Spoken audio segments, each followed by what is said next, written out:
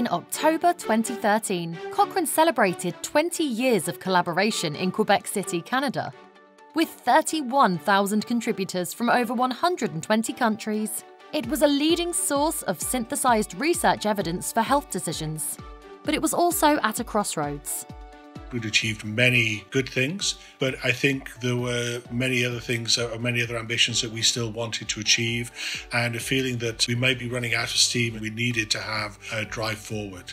Mark Wilson was the newly appointed CEO of Cochrane, tasked with proposing a strategic plan what really challenged me but also uh, energized me was the tremendous engagement that we saw from the leaders of Cochrane. They already understood that Cochrane, to be everything that we wanted it to be, needed to change. At the annual general meeting in Quebec, a plan was approved by the membership. Strategy to 2020 would guide Cochrane through a process of radical transformation for the next six years a bold push to go beyond producing evidence.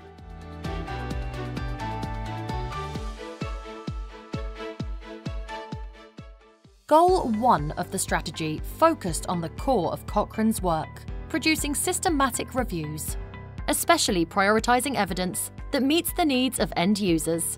There's no point in just churning through lots of reviews that are never going to be picked up by anybody. And so this idea of mapping and matching and prioritising, I think, is, is important so that they are topics that patients want and the guideline developers want.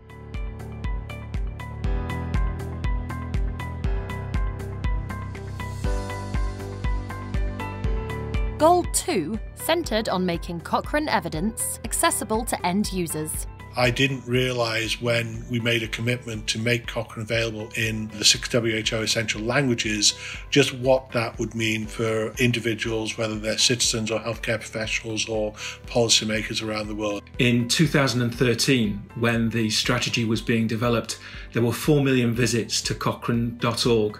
In 2019, that had risen to 77 million visits. For Goal 3, Cochrane needed to pivot outwards and become engaged with stakeholders. Cochrane partnered with important health organisations around the globe. I'm really pleased with the relationship with um, WHO. It enables Cochrane to potentially influence WHO policies to get Cochrane evidence into things, but equally for WHO priorities to become activities for Cochrane moving forward. Goal 4 focused on building an effective and sustainable organisation something that outgoing board co chair Lisa Bero spoke to when addressing the annual general meeting in Cape Town. I'm delighted that we've invested in more ways to support people to get involved in Cochrane, such as our different levels of membership. I clearly remember the days when Cochrane was considered an exclusive organization and no one could really figure out how to get in. In the seven years of strategy to 2020, Cochrane's membership grew from 28,000 collaborators to 82,000 members and supporters. 2020 has arrived with new healthcare challenges. We can see that the quality and the effectiveness of the Cochrane response is drawn in large part from the changes that we have made across the organisation in the last seven years. As a new decade begins, Cochrane remains committed to producing vitally needed evidence to confront the healthcare challenges ahead.